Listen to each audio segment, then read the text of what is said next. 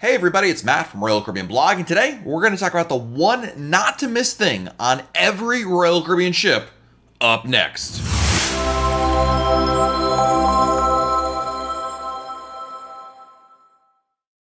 Royal Caribbean designs its cruise ships to be destinations in and of themselves, and today I'm going to share the one absolute must do on every ship in the fleet. Are you ready?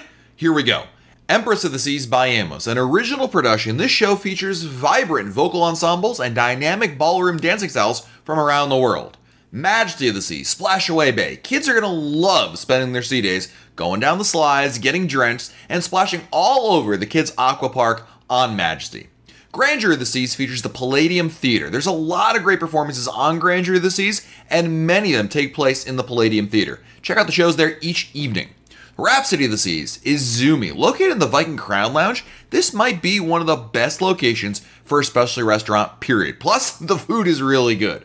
Enchantment of the Seas, the Jump Zone. Up on Deck 10, you'll find four bungee trampolines on Enchantment, known as the Jump Zone.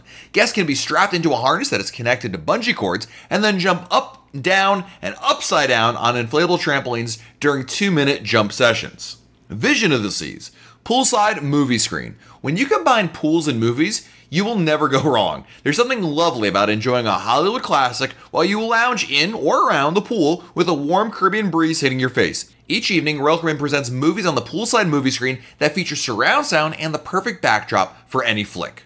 Voyager of the Seas, perfect storm water slides. Added in October 2019, Voyager of the Seas offers two racer slides that provide three stories of twists and turns. Explorer of the Seas, the reimagined poolscape. Coming in 2020, the pool deck will be reimagined to a resort style look coming to the pool deck of Explorer of the Seas. Hammocks, daybeds, casitas, and in pool loungers will all be added. Plus, you've got the Lime and Coconut, which is Royal Caribbean's signature poolside bar. The three level venue is at the heart of the new pool deck and features a rooftop deck as well. On Adventure of the Seas, you have to try out the Perfect Storm water slides. The water slides at the aft of the ship offer some terrific family fun. Navigator the Seas, without a doubt, the main attraction is the Blaster and Riptide water slides. The Blaster is Royal Caribbean's first aqua coaster, and it's also the longest water slide at sea. You hop into a raft, race down more than 800 feet of dips, drops, and straightaways that extend over the side of the ship. Riptide is also new to Royal Caribbean and is the cruise industry's only head-first mat racer slide that finishes off with a very, very wet ending. Try to keep your eyes open for the views over the translucent tubes. Mariner of the Seas has the Skypad, which is a bungee trampoline experience that combines virtual reality with the energy of a trampoline experience. It's a compelling combo, and what leads to is a really fun sea day activity. While you bounce up and down on the trampoline while tethered to bungee cords, you'll enter a video game virtual reality experience that takes you to moon craters or to compete in intergalactic games. Radiance of the Seas has self-leveling pool tables. In the Bombay Billiard Club, you'll find a pair of self-leveling pool tables. These tables are gimbaled on a motion-sensitive, motorized gyroscope that counteracts the ship's movements to keep the tables as level as possible. On Brilliance of the Seas, you have to go to the cinema. Brilliance is a dedicated movie theater featuring stadium seating and a fully enclosed space to see films just like you would in a theater on land. The best part? Totally complimentary. On Serenade of the Seas, go to the helipad. If you want the best spot on Serenade of the Seas to watch as she pulls out of port, then it has to be the helicopter pad at the front of the ship.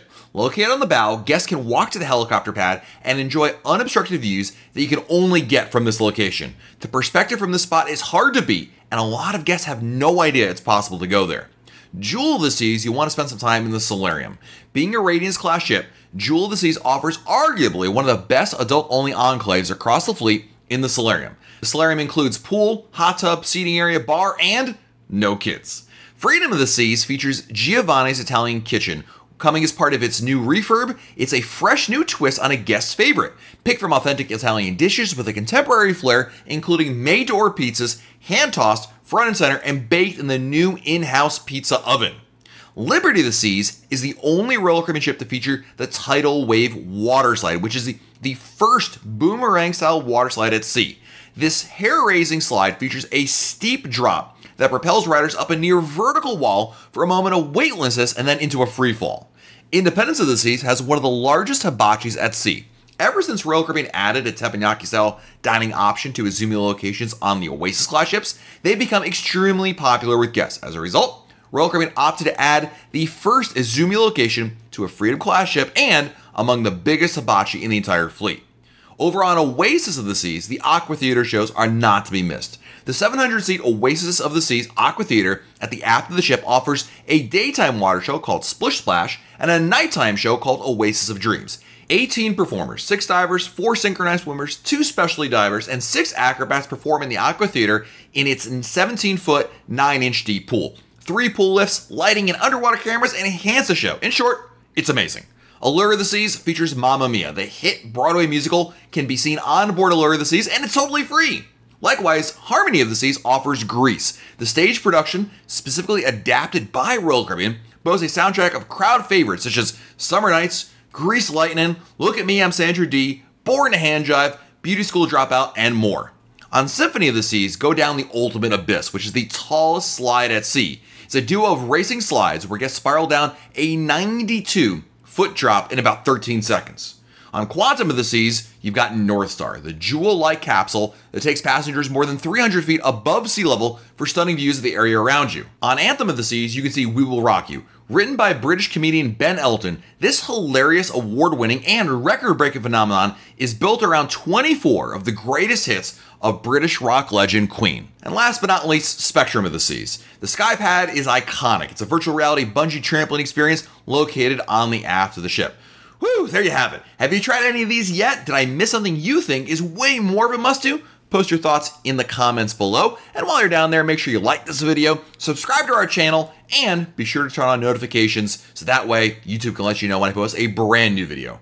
This has been Matt from RoyalCaribbeanBlog.com, and we'll talk again real soon.